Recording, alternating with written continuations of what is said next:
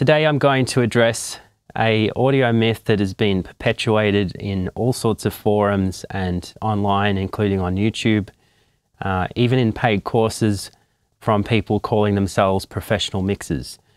Every time I hear about it, it just it makes me angry and it drives me nuts to see that people don't quite understand this concept. So what we're going to take a look at today is sidechain filtering. So that's filtering the sidechain in dynamics processing.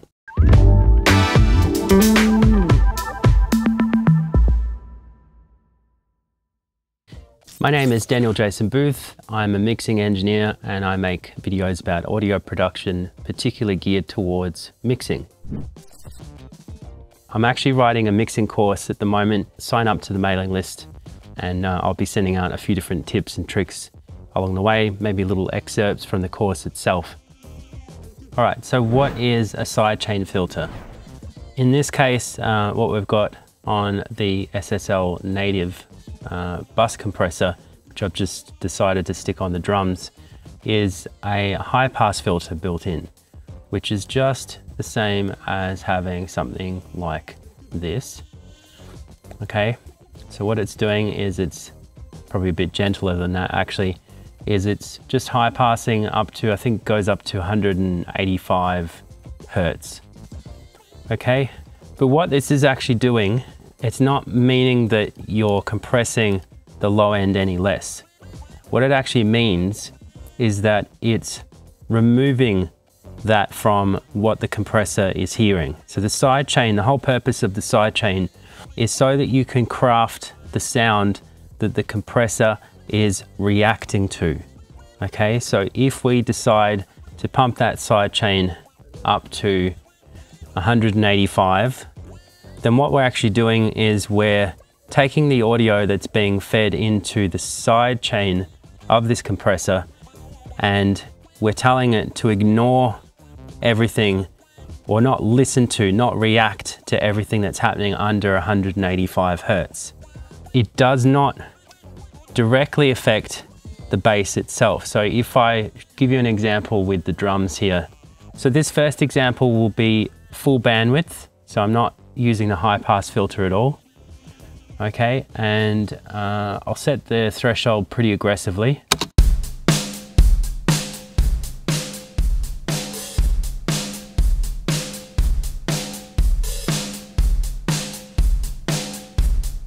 So you can hear every time the kick hits, in particular, it's getting compressed quite a lot.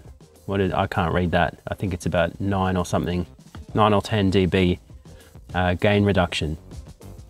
That just makes it easier to see. You would never compress it this much unless it was like blended back in in parallel or something like that. Uh, but for the purposes of this example, it helps you to see exactly what's happening. Now, if I pump up the side chain so that it's filtering out the low end, which the kick is part of that, and there's a bit of low end from the snare drum as well. Watch what happens.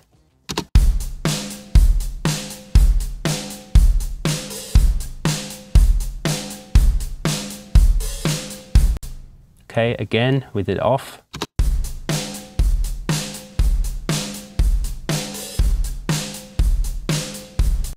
Now you can see that it, how people will get the impression that it's not compressing the low end as much.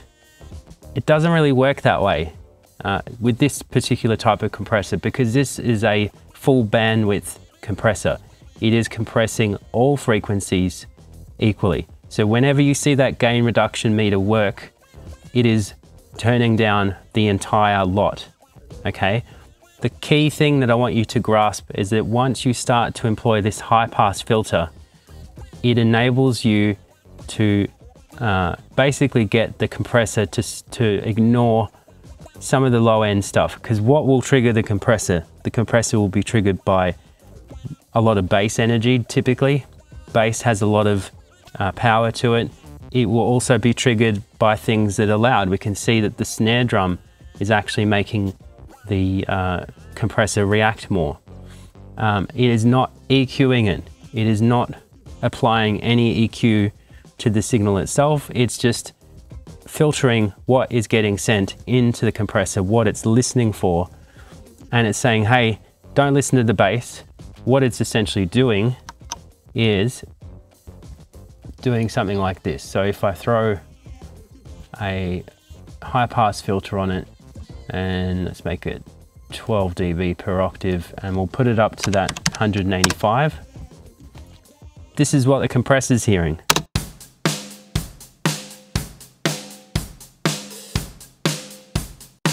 Course, if I take that out, what has more energy? The kick drum. So therefore, that will move the gain reduction needle more because that's the loudest, it has the most power, has the most energy. So to be clear, it's not the same as using a multi-band compressor. Let's get one of those up. Okay, so let's for example say that we have the crossover at 180, 180, oh there we go, 185. Uh, but we decide that, well, let's just Let's just dial the threshold down so we're getting quite a bit. We might actually zero everything out. I might have a fast attack and a fast release. And can we, oh yeah, we get all the thresholds the same. Let's pull this down.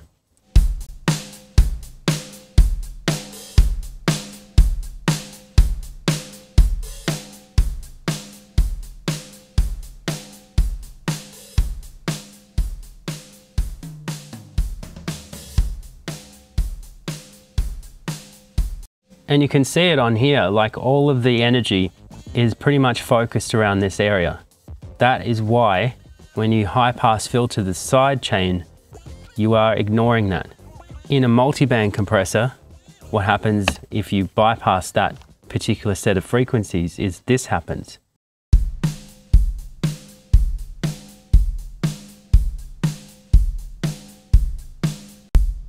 Which sounds nothing like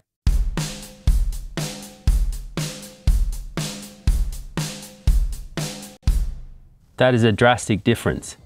We are not affecting how much the bass is compressed. We are affecting the entire bandwidth. What it does affect is how much the entire signal is affected by the low end. So that's a really important distinction to make. So the next time someone says to you, hey, I'm, I'm high passing my, my side chain in my compressor, and therefore it's not compressing the bass as much, you'll be able to tell them, actually, that's not quite true because this is a full bandwidth, full frequency compressor. So what you're doing is you're only affecting what that compressor reacts to. Thank you for watching. I hope that clears things up. Please like, share, and subscribe, and I'll see you in another video.